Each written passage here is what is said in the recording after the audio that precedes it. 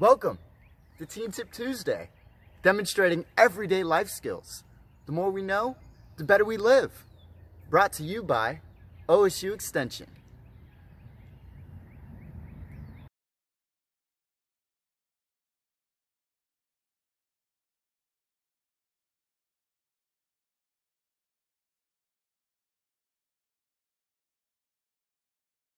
Hello, I'm Kara, And I'm Hazel. and we are members of the Seneca County Junior Leadership 4-H Club. In this video, we will be talking about the various accounts, cards, as well as the process of keeping track of your purchases. Let's start by discussing a savings account. A savings account helps you save up for large purchases. When starting a savings account, it is best to begin by putting 20% of your earnings into the account.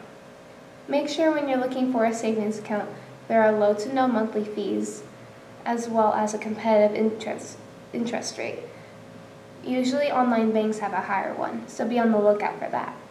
Make sure your account has the ability to make automatic transactions, which takes a fixed amount of money from your checking account to your savings account periodically. The ability to access online so you can see your money without having to leave your home or before making a purchase. And finally, the most important is that it is insured through the FDIC just in case if your bank shuts down so you can have your money back. Next, we would like to bring up checking accounts.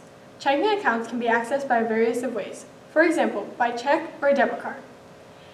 Checking accounts are transactional accounts, which makes it easier for people to keep track of their everyday purchases. Checking accounts make it easier for people to access their money. Debit and credit cards are different in many ways.